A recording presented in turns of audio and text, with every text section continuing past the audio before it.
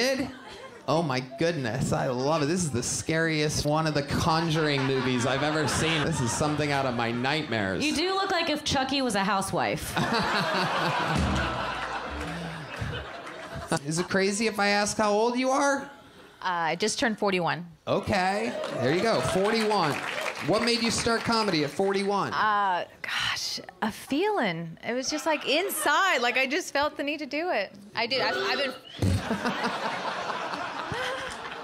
I've, I've followed comedy for years. I've written things down. I've always enjoyed it. I've gone to many open mics. Talk Any into the s- microphone if you have never all this done- experience. Like, I've done so much shit. I did a lot of research. I was doing my homework. I've seen all the professionals. I know how to do it. I had